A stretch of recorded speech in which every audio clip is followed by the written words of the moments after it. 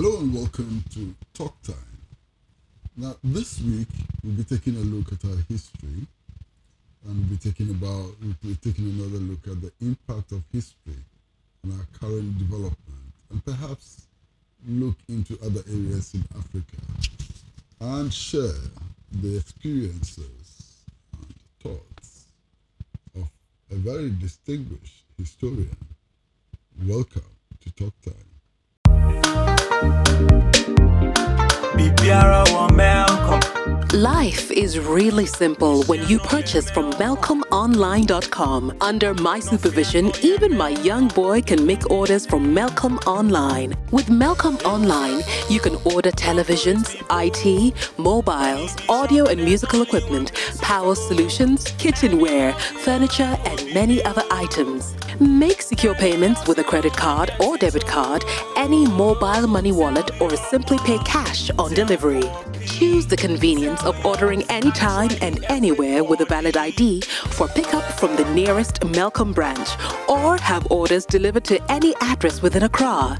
Thank goodness for maturity. Melcom Online. Shop simple, shop secure. No fear, no yeah, Hello, welcome back to Talk Time. And as I indicated from the very beginning, we are taking a look at our history and its impact on us today. We'll be looking at other places in the world if time permits. But most importantly, we are talking to a very distinguished historian. We are talking to Marika Sherwood, who is originally from Hungary. Marika, you're welcome to the studio. Thank you very much, Gracie. It is a great honor to be here. Now, what brought you here this time? Well, I came to talk at the Kwame Nkrumah conference um, when I was talking about what I think was the beginning of the Cold War in Ghana, well, in the Gold Coast in 1948, when there wasn't supposed to be a Cold War in any part of Africa at all. And um, when I when I stumbled across the information that made me begin to research this, I thought, well, we don't really understand what Nkrumah and the CPP and all of you fighting for independence, what you were facing. Because I think the idea then was that people in French colonies fought against the French, against the Belgians, and you were fighting against the British. But the British, in fact, on some issues were united with the other colonial masters, and America was getting involved. Um, so it was much more complicated than just against the English. Um, now, do you want me to explain why I Please, think the Cold do, War please began? All right. Well, um, after a lot of um, letter writing and campaigning in England, we got the government to release some of the withheld documentation from the colonies and on Kwame and Nkrumah. So the papers of MI5, that's military intelligence, that's the surveillance system on anybody who is doing things they shouldn't really be doing, um, have been released. I should point out here that even in the released papers, some material is withheld. So though I am looking at the papers on Kwame and Nkrumah from 1947, the first ones released, mm-hmm. until mid 1948, some of that is withheld. So you think, well, what were the British doing that in 2016 I still can't see papers for, you know, they want to keep things hidden. But what struck me on in these papers was that Nkrumah is always being released, referred to as a communist. Now, it is true that when he lived in America, worked for the African Students Association there, um, he was in touch with the Communist Party there, and I think they got some support from the party. But the Communist Party, especially in Harlem, was fighting on the streets against racial discrimination. So it was in the front line of the struggle against racial discrimination and, and for equality. Um, and by the way, the person that um, Nkrumah, I think, was closest to was Claudia Jones, who was struggling for equality for women. So I don't know how much she influenced Nkrumah in his attitude towards the role of women in society. Um, anyway, when he, he goes to England, um, he gets in touch with the Communist Party there because of his experience in America. And he doesn't realize that the British Communist Party is somewhat different. It doesn't have black members and it doesn't recognize racial discrimination and it doesn't recognize colonial issues, which is absolutely incredible. How you can be a communist and not recognize that is difficult to comprehend. Now, why does Nkrumah get in touch with them? He arrives in England just before the 1945 Pan African Conference. He works with George Padmore, Makonnen, um, to help organize the conference. The people attending the conference are really the people who came back to Africa to struggle for independence. Um, so he meets everybody, and everybody meets him, which I think is is important. Um, but some of them have a problem with the conference. They say, well, yes, you, you talked about the need for us to be independent economically, not just politically. But there were no plans on how to achieve this. You know, what, what are we going to be doing? How, how are we going to get independence? So they decide to form, no, they decide to go to Paris because there was nobody from the Francophone activists living in Paris who had come to the conference. So they go to talk with them and decide to have a big conference in London to discuss ways forward. Mm-hmm. So there's a big conference in London in February 1946.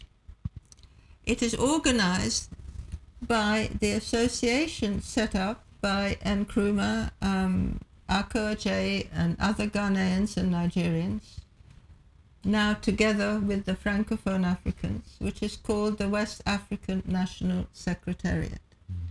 So that secretariat works with the West African Students' Union, which is also very politically active, to hold this conference to say, well, how are we going to move ahead? A policy is lovely, but you have to do something. So they decide that um, you have to bring people together from West Africa. They're not talking about the whole of Africa, just West Africa, um, to discuss where's forward. How do we move? So they have more meetings to discuss this and decide that what they should do is have a conference in Lagos in October 1948, to which everybody has to be invited. And by everybody, they mean the unemployed on the street, up to the lawyer up there, the trade unionists, the women, the school children, the students. Everybody has to be invited because independence means we must all work together, which is wonderful, of course. Um, it's not done in Europe at all. so there are plans on, on how to do this, and what they do is um, they spread the message in France and in England, and Nkrumah travels around England. Um, and I keep wondering, what was it like for him to to learn to talk to Africans and West Indians living in Britain, as well as the white workers, because his experience is talking in America. But he clearly does it very well. So Nkrumah must have had a great gift, not just of speaking, but of recognizing how to talk to different audiences, mm-hmm. which I think is pretty rare. Mm-hmm. It's pretty rare. Mm-hmm. Um, so they spread the message, and it goes out to the newspapers in, in all the West African colonies. If you look in the newspapers in Ghana for the time, there's you know all kinds of reports on the secretariat and so on. Um, so that's what they want to do. Of course, they can't hold the conference because of events here, the ex-servicemen's march and um, by the way, how many people were killed is still a question of debate. I mean, as well as how many people were injured. Um, so there is a massive nationalist movement, right? And that it should be for the whole of West Africa is a great threat to all the colonial powers. So the question, I think, to them is well, how are we going to deal with that? Because we can't attack them all as nationalists and people fighting for independence because World War II is just over and you can't now say, well, we're going to keep people repressed. it just wouldn't go down well mm-hmm. anywhere. And America, of course, has been saying independence for the colonies for quite some time. So that's the issue of America. And I think that is very problematic. America says yes, end of independence. At the same time, when there is a campaign to have African representatives at the founding of the United Nations, Africa stops this. And I don't yet know why, but it mm-hmm. does, mm-hmm. which is a bit strange. Mm-hmm. Makes you question things. America stopped it. America stops it. There's a big campaign here and in the US, mm. um, and America stops it. But on the surface, America says independence for the colonies. Below the surface, in the internal discussions, it's about, well, we need access to the raw materials in all the colonies. At the moment, we can only get them through the French companies and the Dutch companies and the English companies, and they're making a profit. Mm-hmm. We want direct access. Mm-hmm. So, how are we going to get that? Through independence, but then how? So, there's a lot of thinking and discussion they have to do, sort of in private, without the colonial masters knowing about their intentions. Um, at exactly the same time, there are two other issues. One is that um, Brit- Britain and the European, the Western European countries, the Allies, were lent a lot of money by America, and America cuts this off the last day of World War II immediately. So all these colonial powers are in debt to the United States, and of course they've all been bombed and you know, all the men had been in the military and so there's that issue and what do you do with the men when they come home and, and all the factories are mm-hmm. just now producing guns and bombs and we, you know places being bombed. So america decides that it has to lend new money under different terms. So it lends britain and I'm sorry, I don't know how many billions, but it is many billions. So many that there was a, a report in the British newspapers in 2006 that they had finished paying off that loan. 2006. 2006. So Britain is hugely in debt. So is France and all the others, but we're talking of Britain. So there's that issue because how is Britain ever going to repay when it's been bombed? The factories are manufacturing arms. And the only thing they have that's worth anything is the raw materials in the From colonies. Yeah. So, but America wants direct access to them. And of course, the Europeans want to keep it. So, you know, there, there, there's a few problems about, about that. Um, and the final problem is that um, though the USSR was part of the Allies in World War II, that split immediately after the war. Um, and of course, the the, poli- the communist policy, communist philosophy, is totally different from the Allies' capitalist philosophy.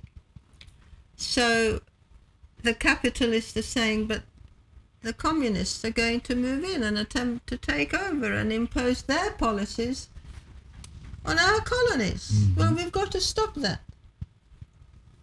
So if we call Nkrumah a communist. We can work against him because everybody wants that. Nobody wants the USSR moving in. So we're not going to call him a nationalist or somebody fighting for independence. We're going to call him a communist. And it's the communists that really got the ex-servicemen to march. Mm-hmm. So this is where the Cold War begins because I mean it, it looks to me as if Britain realizes that it can do this with the ex-servicemen's march to blame Nkrumah and to call him a communist. And, And to provide a pretext for moving on Nkrumah. Yes. Mm-hmm. So they spread this notion that Nkrumah is a communist and communism's coming in here. We've got to stop it. So Britain sets up, sends the head of MI5 out here to set up MI5 offices. Um, the CIA also moves in, but I don't yet know how many officers it was permitted to set up. Um, and all the powers begin to exchange the information gathered by MI5. Is And there any evidence that before the Manchester conference, Yes. The CIA and the MI5 were interested in Nkrumah? Um, not as far as I know at the moment. The MI5 files begin in 1946, 47, um, which doesn't mean that there aren't earlier papers that haven't been released. Um, the CIA had a file on him, but that was, it seems to me, a sort of regular file on, on incoming students from abroad. And I certainly have not been able to find anything else on him. Um, what about the FBI? Well, in nothing in the released FBI papers, but we have to emphasize that, of course, much is withheld because they don't want us to know all that they were doing, all that they were doing. What they've withheld is our history. Yes, it is very much your history. So is it right that countries like the UK, you know, and America, United States of America, are withholding part of our history from us? No, it's not right at all. I think it's completely wrong. It's it's a a new version of imperialism, if you like. Um, and I have had a number of discussions by email and some face to face with the Foreign and Commonwealth Office in London, precisely about this, and say all those documents should be returned to Kenya, to Ghana, to Nigeria, and so on, with all the papers there because they have now released um, some of the government papers as well. So I have been to the National Archives in London and asked to see some of these. So you are brought a file, Governor's Office, Governor's Office from here. So it's the file taken from here. But you look at it and page one or two might be there, and then the next page is blank. It is called deducted. A few pages on, half the page could be deducted. So you put in a freedom of information request, you write, and you get absolutely nowhere. You are told these are security issues. 70 years after the act. I'm looking at papers for Nkrumah coming, Nkrumah in England, and until mid 1948. And I'm looking at these papers last year. So, what was Britain doing at that time here that we still can't see the papers? Hmm. Well, we was we're talking to Marika Sherwood, who is a historian. She's more than a historian; she's an activist, uh, originally Hungarian, and she is researching on Nkrumah in the mid 1940s upwards. Uh, We're going to take a short break, and when we come back, I'd like to find out from Marika what she's doing with the information that she's gathering. Short break.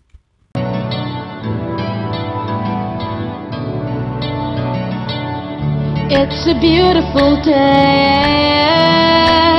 I'm gonna make most of it.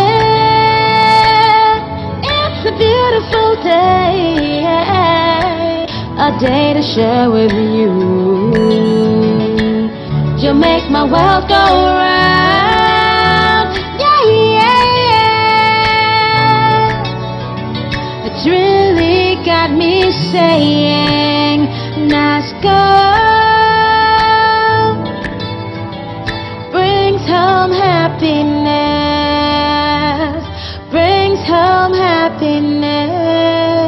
Experience the wide range of top quality and affordable electronics, phones, tablets, home and office appliances from NASCO. NASCO, bring home happiness. Hello, welcome back to Talk Time. We are talking to Marika Sherwood, who is a historian and activist. Now, Marika, what are you doing with all the information you are gathering? Well, I want very much to publish it as a small book here in Ghana at a price that everybody can buy. I don't want royalties. I just want people to be able to read this history because I think we have to do an enormous amount of research because the Cold War is about manipulation. And let me, can I give a couple of examples Yes, of manipulation? Um, one is that, that Nkrumah sets up a newspaper, right, which is really beyond the stretch of this book, but I, I'm going to outline it a little. So somebody says, well, um, we have you can sue them for libel and somebody else replies well we're already doing that and of course then Nkrumah and the papers were sued for libel again and again and then I come across a, an article by George Padmore in one of the papers here saying it's a very strange um, rumor going round that one of the British newspaper companies is going to set up a newspaper in Nigeria and Ghana. So I read this and I think, well, I can see why you're a bit bewildered, Padmore, because they're not going to make any money. So why on earth would they come to set up here? So I do some research on this. Um, the paper is the Daily Mirror in London, owned by that and many other papers owned by one family. So this is a man called Cecil King who is in charge of the Mirror. So I tried to do a bit of research on Cecil King, and in some memoirs of some MI5 officers, they say two in two two books that well we were quite close to Cecil King.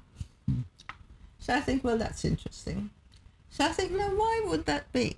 So I read Cecil King's memoirs. I read everything I can find. There's nothing in the National Archives, by the way. Mm-hmm. Absolutely nothing. Nothing in his memoirs either, except that he sets up the papers and he sends out the latest printing presses. Mm-hmm.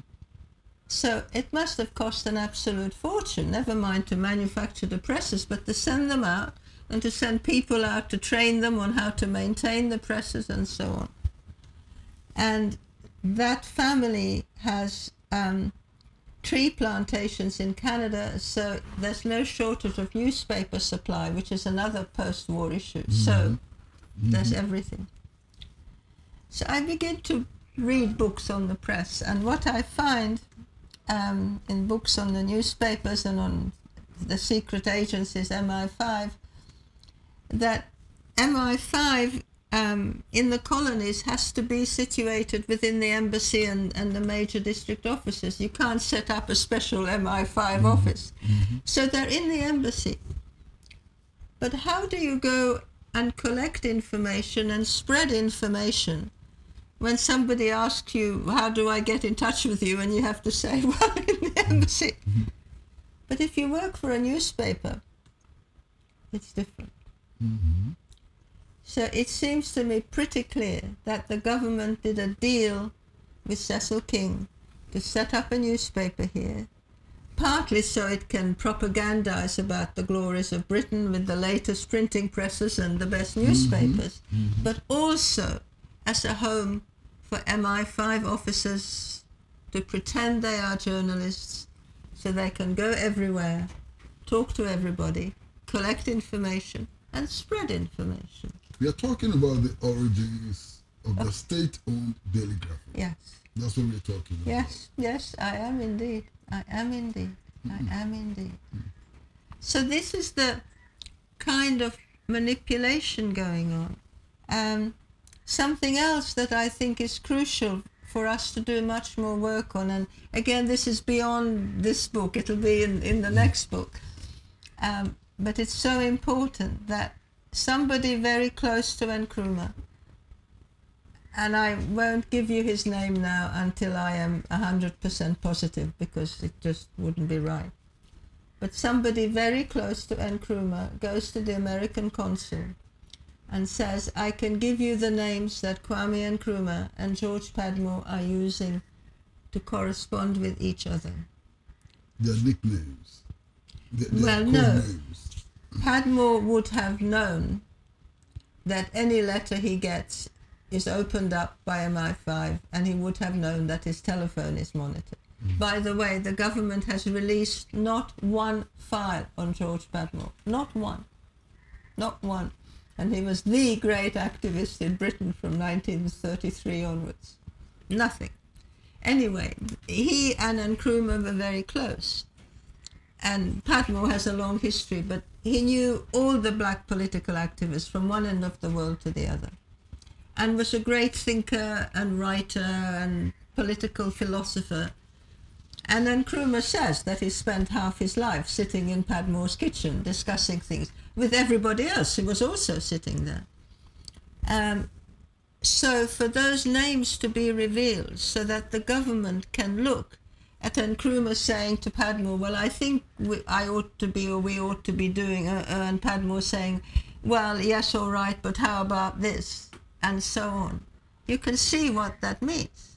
The government can make sure that whatever they decide is not going to work. So, and that to me is crucial, and we somehow have to find as much of that correspondence as we can so we can try to follow up because we just don't know what was going on. In your view, to what extent did Padmore and people like Makonnen influence Nkrumah?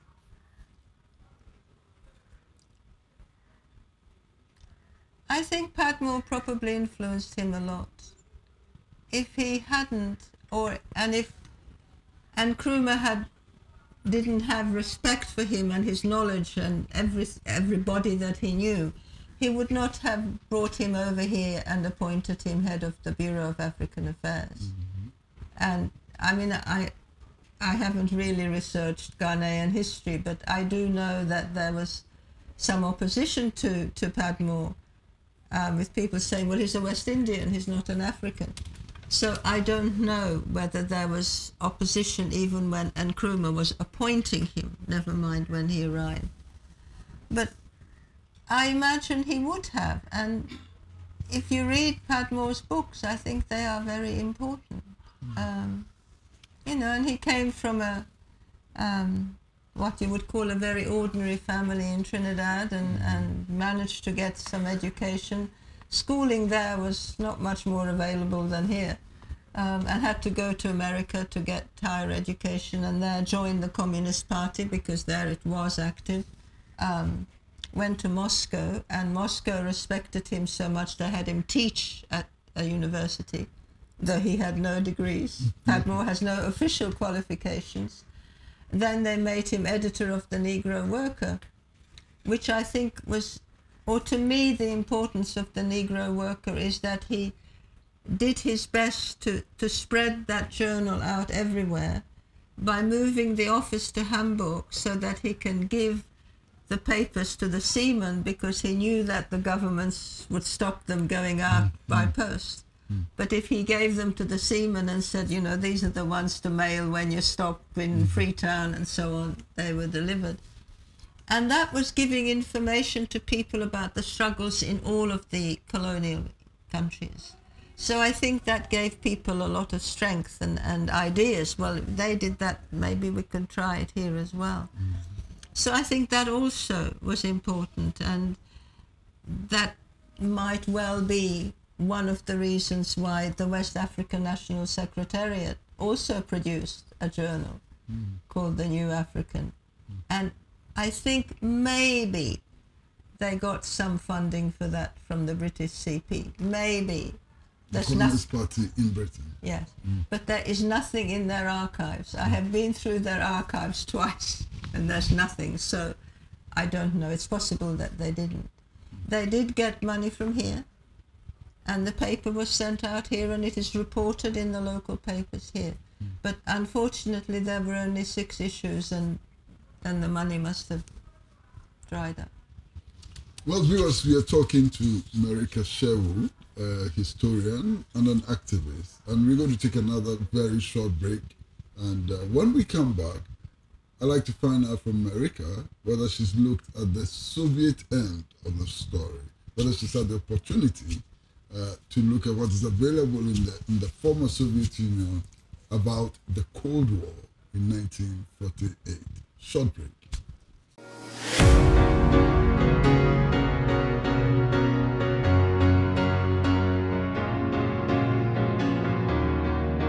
How much is this? 600. Wonderful. I think I'll take this one. But um, what's your size? Uh, 44. This is 43. I could get you 44.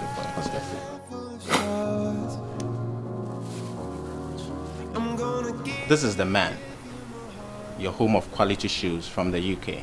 We have various shoes for the office, for your formal and casual occasions. Visit the man in Abelemkpe. Our office is located just behind Aquatech. Our telephone numbers are 020-873-7166. You can also reach us on our landline 0302 730 760. We'll be expecting you.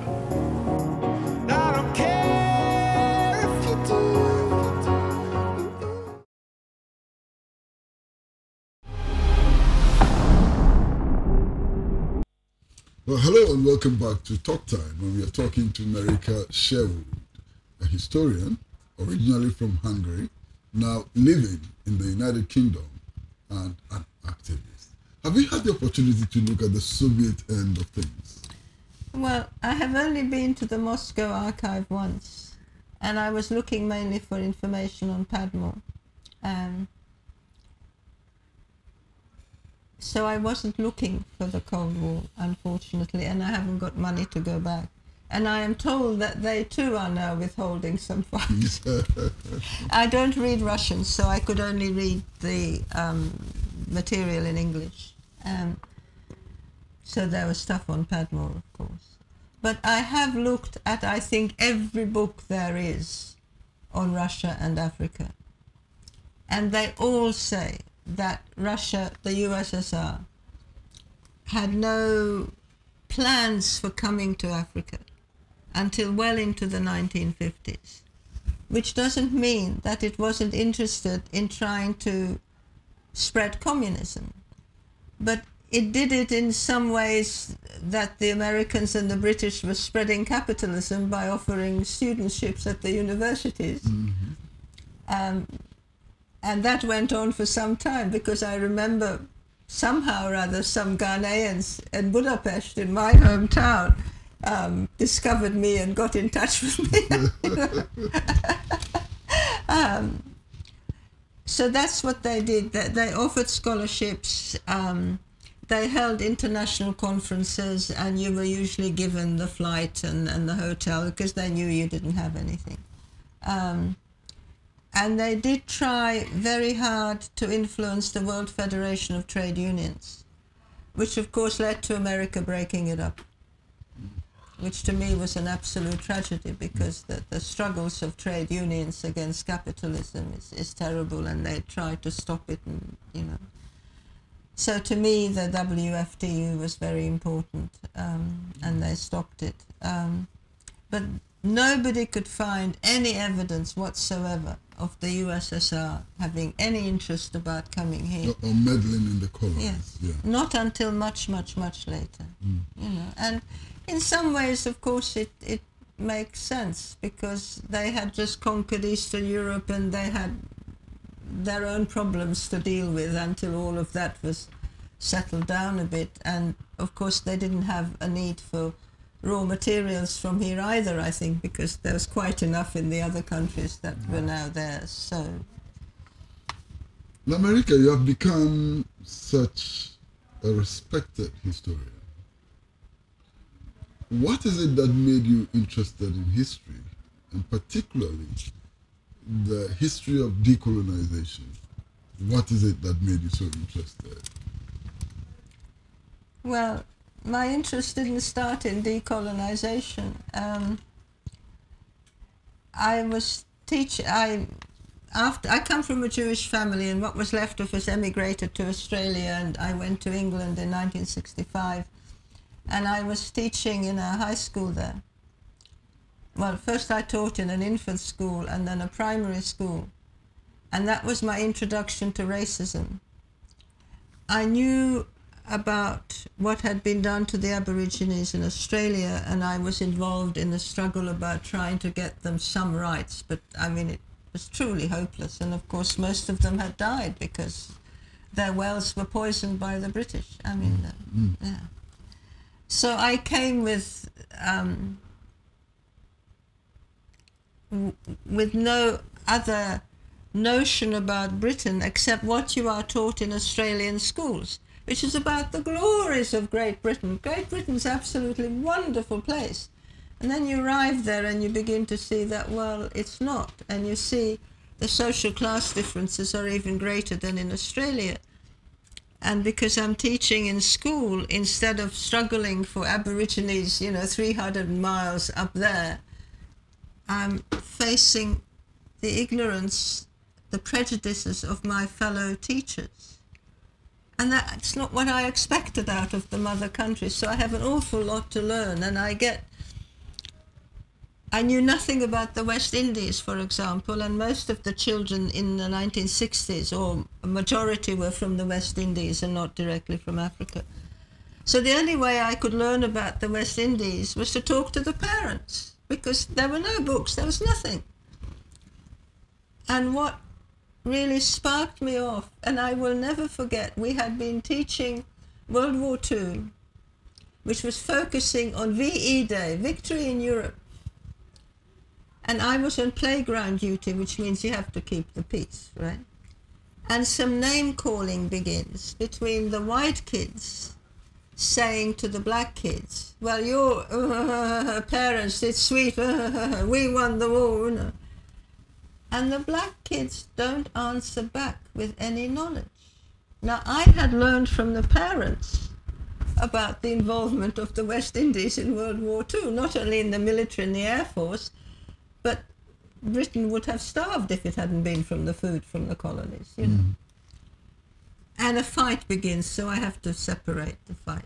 And what is what I'm then saying to myself, I have to find a way of putting knowledge into the hands of the kids so they fight with knowledge, not with fists.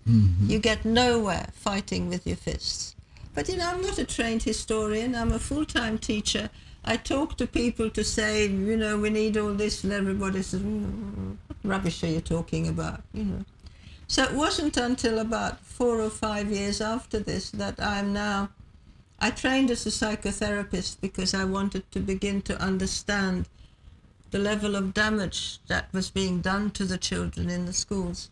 And I'm now working in a polytechnic and I have immense problems with, with the curriculum there and, and with how the black students are treated. And there is one black lecturer, Colin Prescott, who is from Trinidad. So I go, he's, he's uh, running courses on underdevelopment, which was new to me. So I ask if I can attend his course, and he says, of course. So I have a whole new door open to me. And I talk with Colin about the need for all this research. And he says, well, Marika, you know it's important, do it. And I said, I'm not a historian, I have no idea how to do research. And he and I were joking about this the other day, how we will never forget how he looks at me and says, if it's important, you will do it. and he just sits and looks at me. And I thought, you so and so, all right, I'll do it. So that's how I became interested in West Indian history, in the appalling racial discrimination going on in England, um, and then in black political activists in England. You know, what were they doing about what was being done to them? Um, and then I came here because I was researching Padmore, great political activist, right?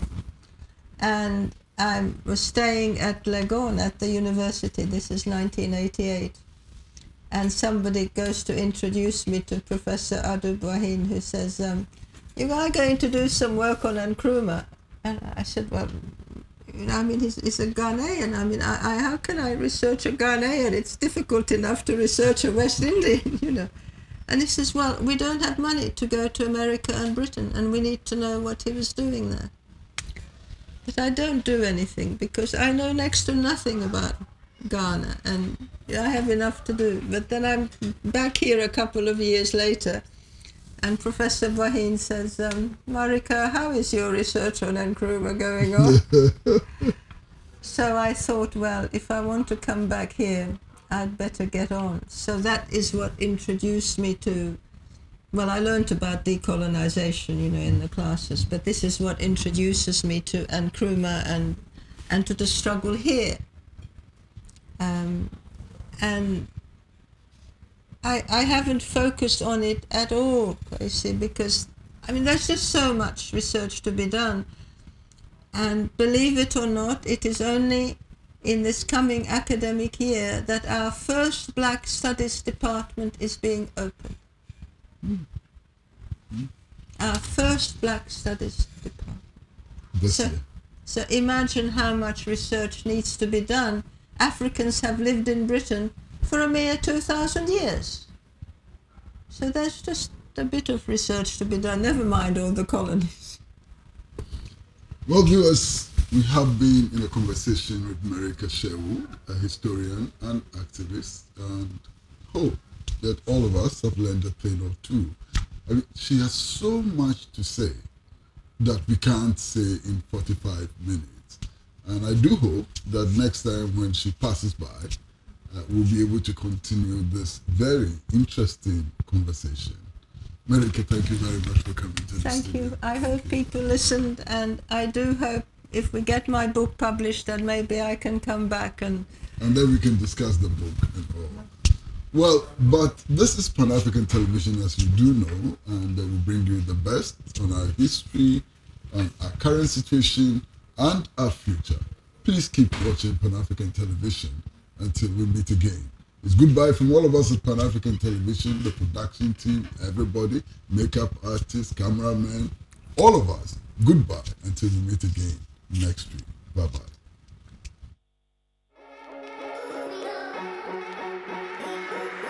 Thank